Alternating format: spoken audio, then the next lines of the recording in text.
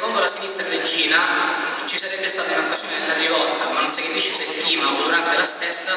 una sorta di accordo tra l'estrema destra dell'epoca,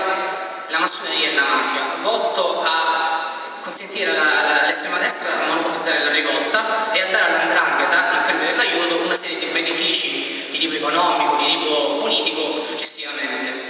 Però faccio prima una importante precisazione. Alla base di questa ricostruzione storica fantasiosa non ci sono documenti, prove, circostanze inconfutabili, ma come ha poc'anzi accennato il senatore Meduri, ci sono le parole di un pentito,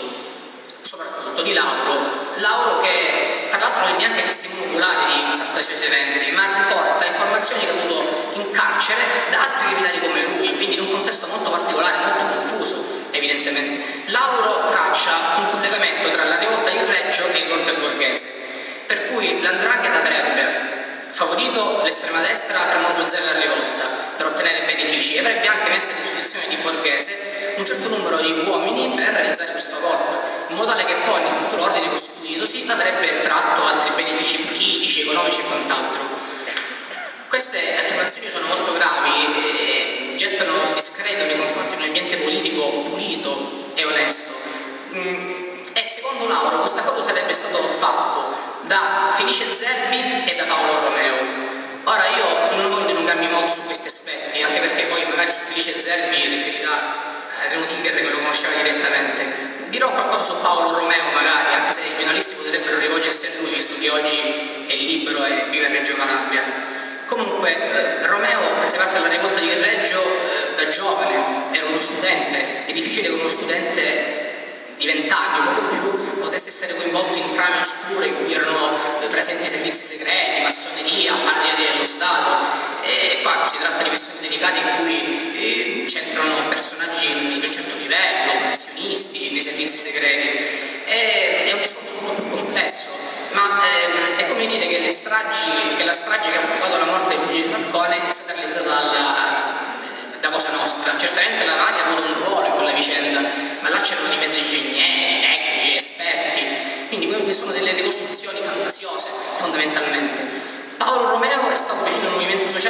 anni 70, poi si è improvvisamente distaccato, ha scelto altre strade, è stato, si è avvicinato al Partito Socialista Democratico Italiano ed è stato anche eletto. Probabilmente ha capito che, ha capito che magari la strada della rivolta non era più percorribile, della lotta non era più percorribile, ha fatto altre scelte e ha capito che queste scelte erano incompatibili con la missione del Movimento Sociale Italiano e se n'è andato. Non discuto sulle sue scelte, non discuto sul fatto che successivamente è stato coinvolto in processi di indrangheta, che è stato arrestato, che è stato condannato, sono fatti che attengono alla sua coscienza e risponderà, ha risposto dinanzi alla legge, risponderà alla sua coscienza per sempre. Però il punto è che sono fatti successivi, lui ha cambiato strada, ha lasciato il movimento sociale e ha percorso altre, altre strade. Non entro nel merito, ma non si possono utilizzare queste scelte successive per pensare che anche prima abbia svolto un ruolo in questo senso.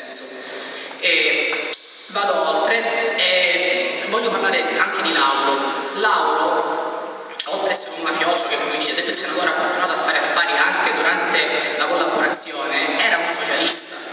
Stefano Delle Chiari addirittura sostiene nel suo libro che era un militante di sinistra vicino a Giacomo Mancini e, e, questa è una cosa che deve fare riflettere ovviamente, perché dobbiamo ricordarci che in quegli anni il potere politico in Calabria era rappresentato non dal Movimento Sociale Italiano, come a Reggio, ma anche da, eh, ma soprattutto dalla DC e dal PSI. In quegli anni il PSI erano rappresentati in Calabria da Misasi più che altro da Mancini, Mancini appunto. E persone che hanno fatto lei il loro peso politico in merito ai provvedimenti degli anni 70 che a Reggio non erano ben visti ed entrambi sono stati oggetto comunque di processi per rapporti con l'andrangheta, addirittura su Misasi si disse che favorì l'edilizia Regina per far sì che il boss Libri al lato di De Stefano potesse diciamo, eh, ottenere una serie di appalti e quant'altro. Quindi, come si può vedere, la posizione di Laura è molto complessa, ma io voglio fare anche un'altra osservazione. Innanzitutto ci tenevo a specificare che il fascismo fu l'unico movimento che si oppose realmente alla mafia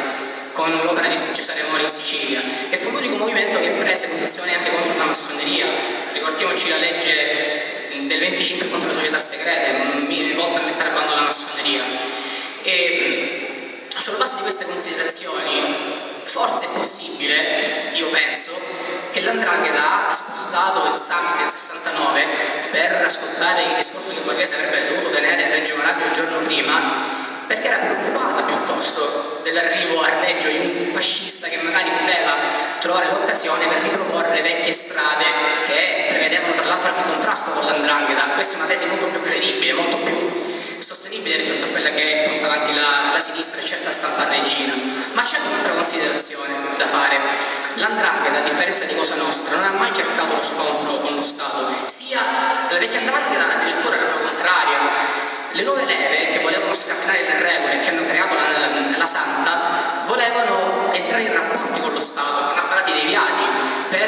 scendere a compromesso, per trovare persone nelle istituzioni che in un certo senso potessero, da loro manforte, potessero comunque consentirgli di beneficiare di permetti di attività illecite e quant'altro. Magari anche le famiglie nuove, come le Stefano e quant'altro, non cercavano il contrasto, ma cercavano la vicinanza di apparati deviati. E, se noi accettiamo la tesi che l'estrema destra, che l'andrangheta ha monopolizzato tramite l'estrema destra la rivolta e ha voluto dare il golpe borghese, non si capisce perché, concluso la rivolta è fallito il golpe, non si è stata perseguitata come tutti gli altri. Cioè, se l'andrangheta si è posta in,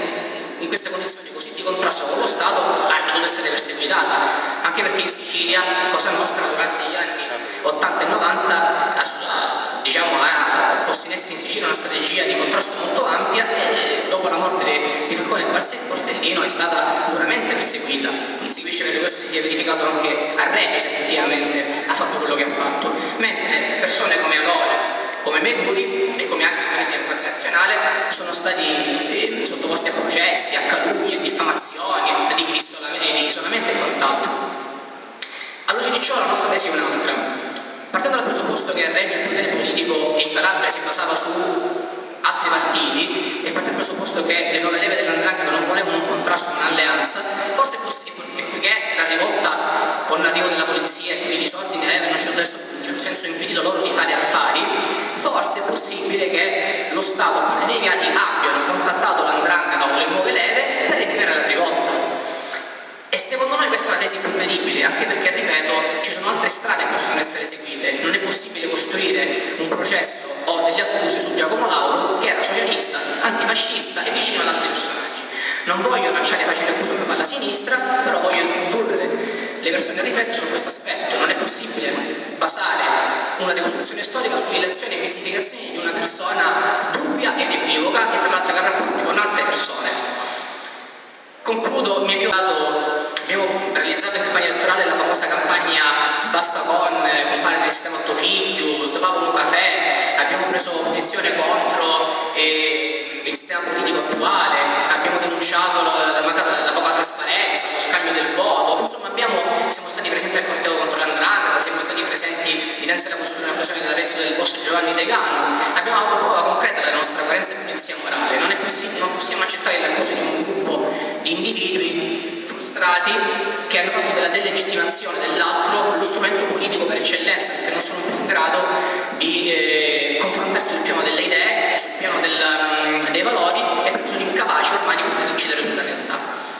Due osservazioni. Oggi, dinanzi alla scelta del Consiglio regionale, i giovani devono prendere atto di una situazione molto grave che segna comunque il fallimento del sistema politico, che è globale Dovremmo riunirci tutti quanti superando steccati ideologici, superando le economie destra-sinistra e quant'altro attorno a un progetto comune che si basi su valori e principi condivisi, che si basino sul principio della collaborazione, della partecipazione e, e della responsabilizzazione invito l'estrema sinistra a placare i toni e a cercare di trovare anche insieme a noi delle, dei, delle strade che possono assicurare a questa città un futuro più dignitoso. Grazie.